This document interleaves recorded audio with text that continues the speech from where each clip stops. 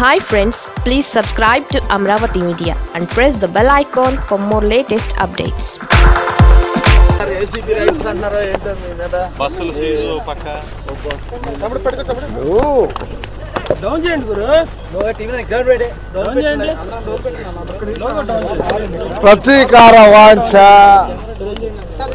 ఇండక్టివిటీ అన్ని రకరకాలు ఉన్నాయి.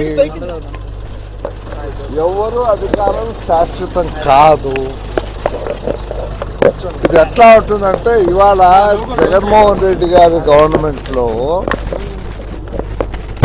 ప్రత్యర్థులను ఆర్థికంగా ఇంకో రకంగా ఇంకో రకంగా దెబ్బతీయాలనేటువంటి ప్రయత్నం జరుగుతూ ఉంది. హింసించాలనేటి మానసికం కావచ్చు డ్యూటీ ఫిజికల్ కావచ్చు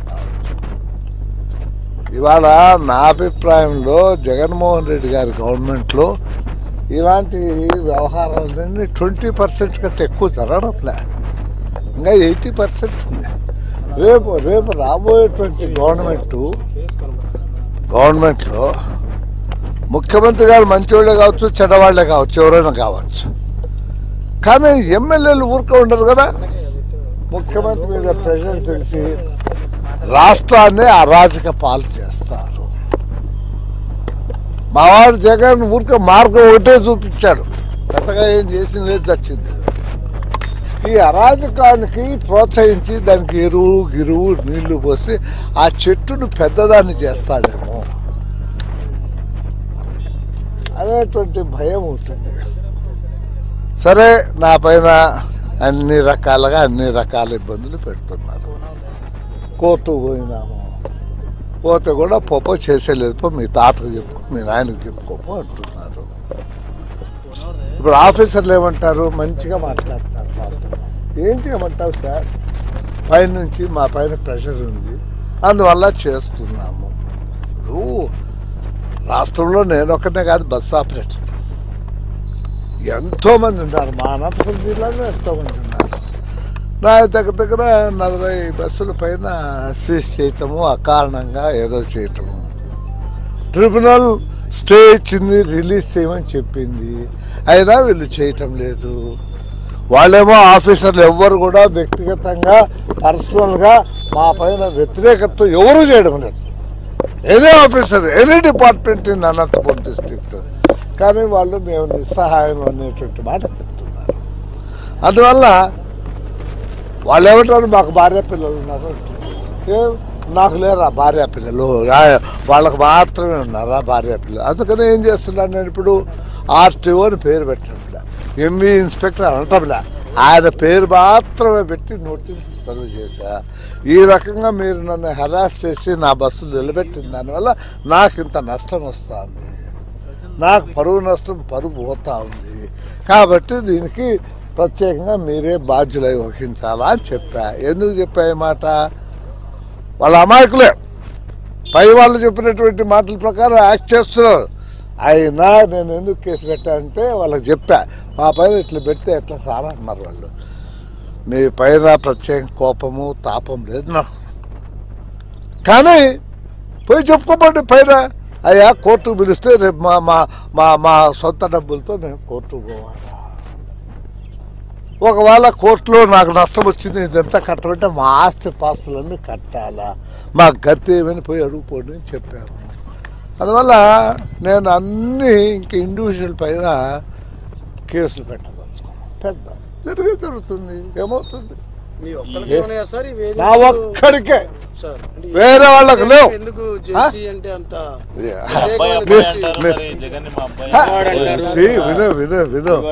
వినవయ్యా. ఆయన మా అబ్బాయి అంతే మా స్నేహితుడి కొడుకు. సరే మా సొంత అబ్బాయి పవన్ కూడా తిడతా అంట. అనంత మాత్రం ఆయన మా అబ్బాయి కాకుండా పోతాడా ఈయన అంతే. అంతే. ఉంటుంది ఆయన బుర్రలో దాని ప్రకారం పోతున్నాడు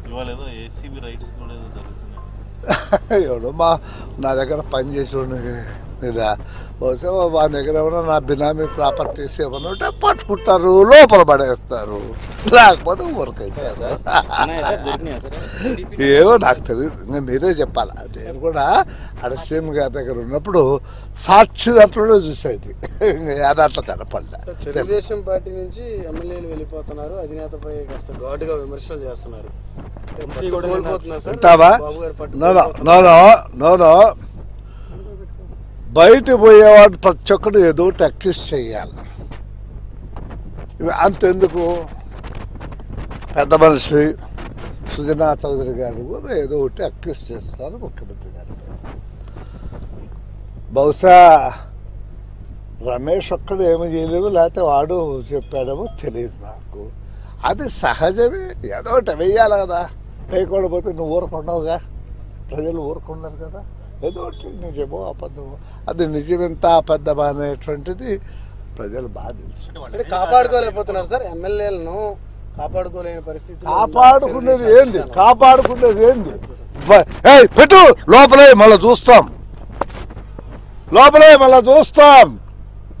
నేను వేసిన రాయలసీమ భాషలో చెప్పాలా? ఏ పిక్కుంటా పిక్కు. దట్స్ ఆల్ అంతే. పోయినా పర్వ నా కొడుక పది రోజులు కేసు ఉన్నా కేసు లేకపోయినా నెల రోజులు పది రోజులు లోపల పోయినా మళ్ళీ చూస్తాం. ఏమవుతుంది కాబట్టి ఇది మంచిది కాదు. మంచిది కాదు. మేము అధికార విను తమ్ముడు మేము అధికారంలో ఉన్నప్పుడు కూడా జరుగుతుంది జరగలేదు అని నేనేమి క్లియర్. ఇది వల్ల జరుగుతుంది ఆనాడు. Half a percent one percent ఇవాళ ట్వంటీ పర్సెంట్కి వచ్చింది. రేపు రాబోయే గవర్నమెంట్ ఫిఫ్టీ పర్సెంట్ చేస్తుంది. అరాచకానికి దావా ఏర్పాటు చేశాం ఈ దావలో ఎంతమంది నడుస్తారో ఇది కడాక సిమెంట్ రోడ్ అవుతుందో తార్ రోడ్ అవుతుందో చూడాలి దేశం నాశనం అయిపోతుంది దీనివలన అంతే. సార్ మీ మీద కూడా తీసుకొస్తున్నారు? మీ మీద కూడా ఒత్తిడి తీసుకొస్తున్నారు కదా? మీరు కూడా ఏమన్నా?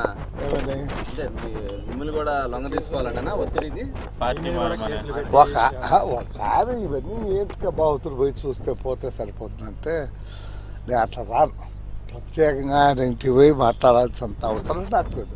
ఆయన కనపడితే ఆప్యాయంగా బాగా పలకరిస్తా మాట్లాడతా జగన్ గారితో. నాకే పంపిస్తా. మీ మీద ఏం ఒత్తిడి లేవంటారు? ఒత్తిడి ఉంది. ఇది మీది ఒత్తిడి అంటావా ఇంజక్షన్ అంటావా ఏమంటావా నువ్వు చెప్పు.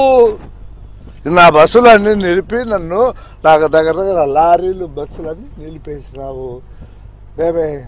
వాళ్ళు మరి కొద్ది స్టే వస్తే కూడా చేసేది పోతున్నావు. నేను కూడా ఇప్పుడు ఏం ఆలోచన చేస్తున్నా? పోయబ్బా రోజు కేసులు పెట్టించుకొని ప్యాసింజర్లకు అందరికి ఇబ్బంది కలగజేసుకున్నా. నేనే స్వచ్ఛందంగా మా ఇంట్లో పెట్టుకుంటా పోలే. ఈ ఆలోచన కూడా. అట్లా కూడా బిజినెస్ నుంచి విరమించుకునే ఆలోచన తాత్కాలికంగా. బాగున్నావు ఎందుకు కూడా ట్రావెల్స్ ఎత్తేసాడు తెలియదు చూడాలి. రాబోయే రోజులు చెప్తాయి మంచి చెడు. ఇవాళ ఏం చెప్తాం మనం? ఒత్తిడి మీద మీ రియాక్షన్ ఏంటి? అంటారా లేకపోతే మీరు కూడా ఒత్తిడికి లొంగుతారా? అదేదో నువ్వు చెప్పావు కదా. పవన్ కళ్యాణ్ పవన్- పవన్ కళ్యాణ్ ఢిల్లీ పర్యటన పవన్ కళ్యాణ్. ఏంటి సార్? ఏం ఎప్పుడు ఆయనతో మాట్లాడలే? ఆయన ఏం చేస్తాను? గమనిస్తుంటారు కదా నాకు తెలియదు నాకు తెలియదు. ప్రత్యేకంగా చూడాలంటారా ఢిల్లీ నేను పవన్ కళ్యాణ్ గారు ఏదో ఉన్నటువంటి ఆయనకున్నటువంటి భావాలు బహుశా పైన ఉన్నటువంటి ఆయన అమిత్ షా గారికో లేకపోతే ప్రధానమంత్రి గారికో ఇంకా ఎవరికైనా చెప్తాడో నాకు తెలియదు. కానీ సిఎస్ పేపర్లో చూసా ఫార్మర్ సిఎస్. ఆయన ఫిఫ్టీన్త్ ఇవాళ ఎంత డేట్?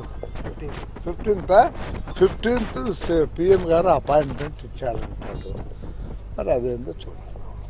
ఆయన ఏం మాట్లాడతా ఆయన ఆయనేం అడుగుతాడు ఈయనేం చెప్తాడో చూడాలి. మీ దత్తపుత్రులాగా అతను మీరే రాయబారానికి పంపారు తెలుగుదేశం పార్టీ అని.